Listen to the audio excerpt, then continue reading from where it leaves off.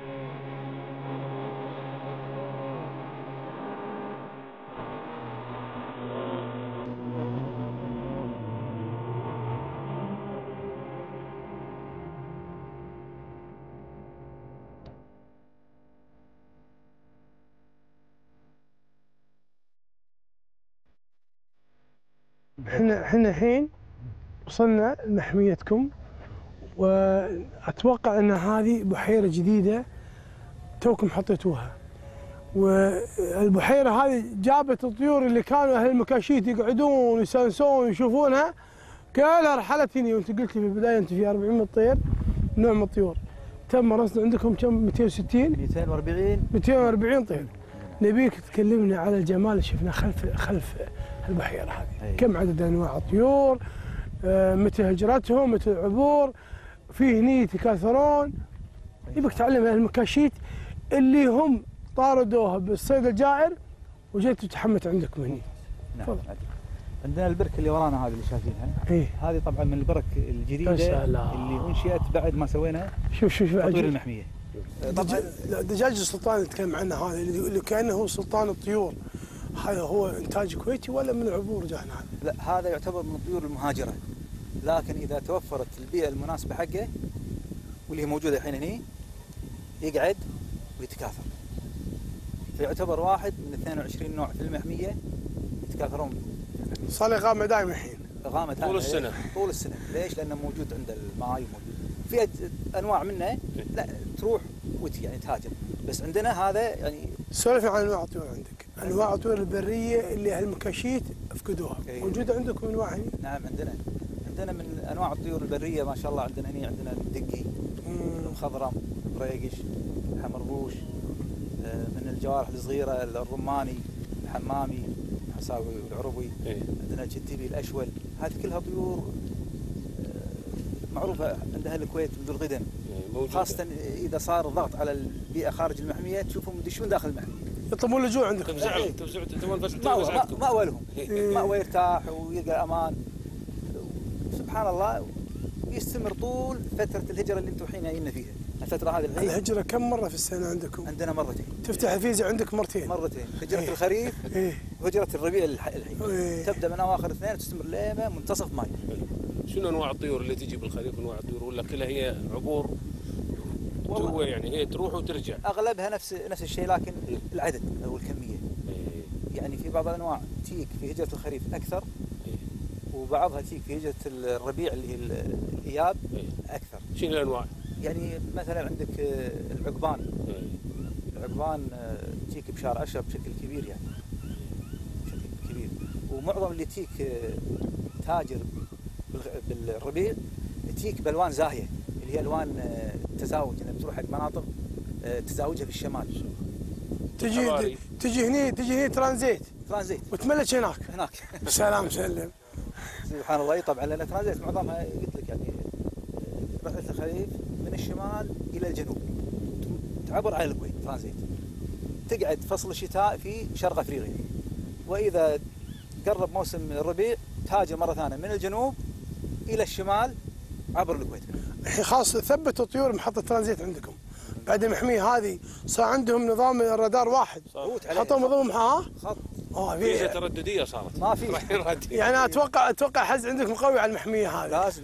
اوفر بوكت الظاهر. طال عمرك المحميات المحمية من ضمن اللي ذكرتها. ممكن تأكدنا على الاهداف اللي الحقيقية اللي ممكن آه، الجماعه أهل المكاشيت يعرفون معانيها ويحققونها خارج السوق. واهمها الطيور. طلعت فكرة إنشاء المحميات حتى عالميا يعني توجهوا إلى آه، وضع خطط آه، إنها تتفاعل مع المجتمع. تصير المحميات مغلقة فقط على النباتات والحيوانات الموجودة بل تتفاعل مع المجتمع. إشراك المجتمع في الحفاظ على المحميات. نعم فيكون في آه، في يعني أهداف توعوية يدخلون أفراد المجتمع في أهداف تعليمية حق طلبة المدارس والجامعات. تسهيل الابحاث واجراءها في المحميات كذلك إدخال السياحه البيئية. السياحه البيئية آه، هذا مطلب آه، يعني عالمي إن الناس تدخل. كذلك إيجاد فرص عمل. فرص عمل للمجتمع. لما يصير عندك محميات وناس من المجتمع يشتغلون كجوالين في المحميات يحافظ على المحمية آه، مرشد بيئي. وهذا في دول كثيرة الحين في محميات آه، يعني التنوع الحيوي إن الناس تشتغل داخل المحمية وتحافظ عليها لأنها هي مصدر رزق لهم فممكن يطلع منها بعض الثمار يطلع منها بعض ال يعني ال يعني بعض المنسوجات أو بعض المنتجات ويبيعها فيتفاعل المجتمع مع المحمية وبالتالي تزيد قيمة المجتمع لدى قيمة المحمية لدى المجتمع فيحافظ عليها. إحنا ودنا نوصل رسالة.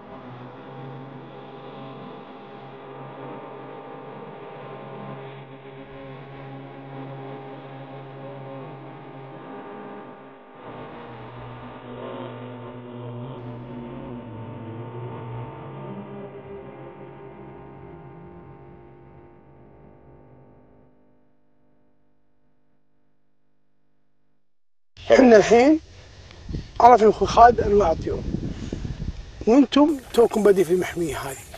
والجماعة اللي خارج السور محمية ودهم يشوفون الطيور هذه. أنتم حققتوا هدف الناس تبيه وهي بقاء بقاء وشوفهم الطيور هذه. ممكن تقول لي أهدافكم حققتوها في المحمية هذه؟ الحمد لله إحنا يعني من خلال آه، حماية آه، أو من خلال المحافظة على آه،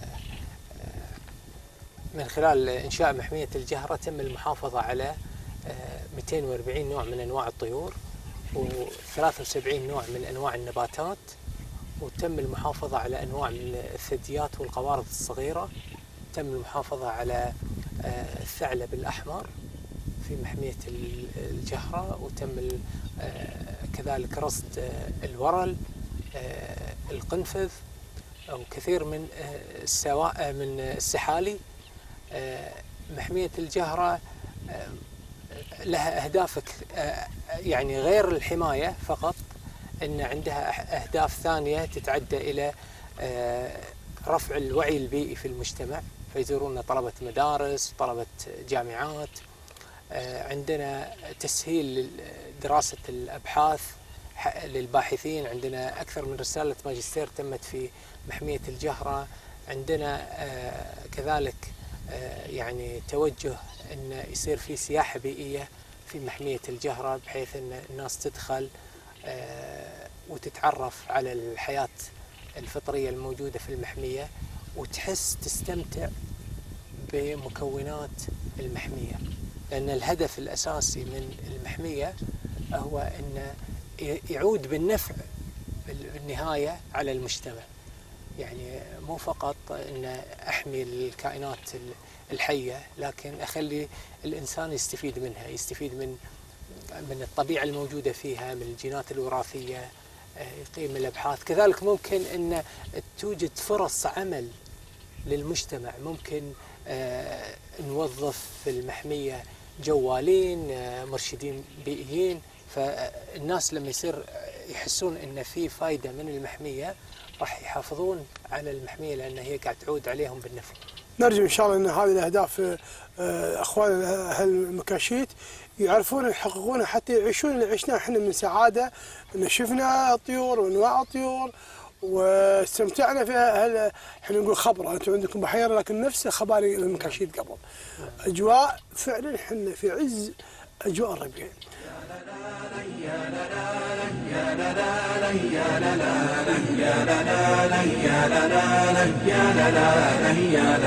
لا